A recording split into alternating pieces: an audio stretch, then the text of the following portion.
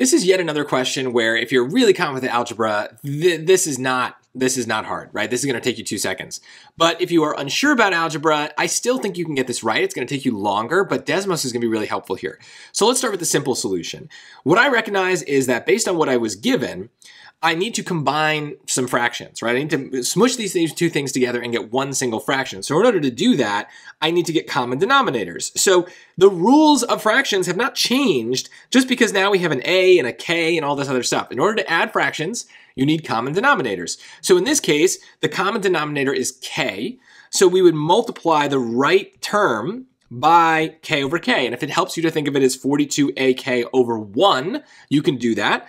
So what that's going to let us do then is now have 42a over k plus 42ak squared over k. So now that we have k's, we can just keep going. And so the k is here. We have 42a plus 42ak squared. We can then factor but if that bothers you, remember, you don't have to get all the way to the right answer. You can just kind of notice, like, all right, it's probably going to be C or D here because A and B don't look like that, right? We can't combine with the, the, the K squared piece is not going to let us combine with the, the 42A but we could always distribute and understand what's going on. And, and, probably at this point, you're like, oh, it's probably D because that's the one with the K squared. Yeah, that's it. Now, the, the math involved is to find a greatest common factor for the top, which would be 42a. If we pull that out of the first piece, well, that's just a 1, right? So 42a divided by 42a is 1.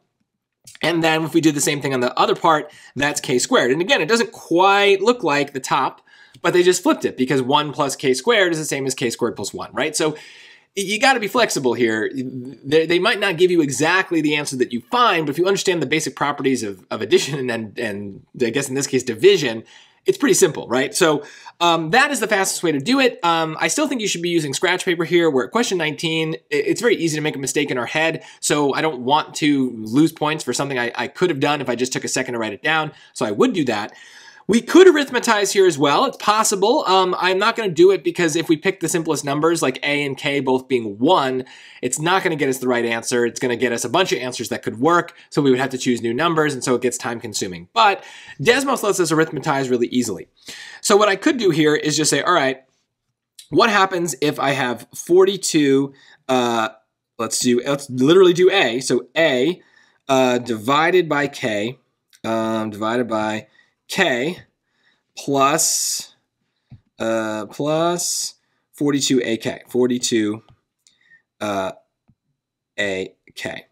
So if we put it in, it's not going to let us do anything, right? Because it's saying, okay, well, we don't know what to do with this. We don't have any values of a and k. So we can hit this, and now we have sliders, and it's going to tell us 84 is the value right? So what I would need to do at this point is start putting the answer choices in as well. It's going to use the exact same values of A and K. But look, if I do that with choice A, that's 84A divided by K.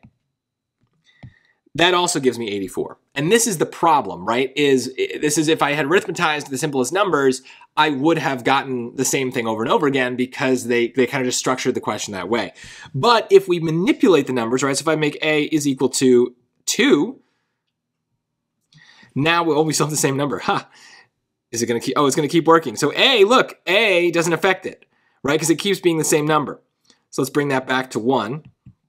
Let's play with K, right? So K, I don't know, let's make that, I don't know, let's just say 5 right? And now we see a difference. Right now we see our original is 218.4 and this answer choice A is 16.8. But if these are equivalent expressions, they're supposed to produce equivalent values when we plug the same values in. So I'm not gonna go through all the choices. We would need to because it's possible that we gotta change the values a lot. But if I just do the, the one we have, so that's 42 um, A times k squared, k squared, this is boring, plus 1, close the parentheses, and divide by k. We get 218.4, and let's go back to the top, 218.4, right? So a lot of scrolling, a little difficult uh, on the tablet especially, but even on the computer, that Desmos keyboard is gonna, or Desmos screen is gonna take up a lot of your actual screen and maybe block out the questions, so you gotta move it around. So that's why I don't really recommend this, but it works. It works definitively. So if you are not good at algebra, you have to be using Desmos a lot. You've got to be using that to kind of save yourself on these questions that you otherwise might make a mistake on because you're not confident on the rules. Desmos will let you kind of circumvent it. So a good question to target if you're bad at algebra because Desmos is so useful.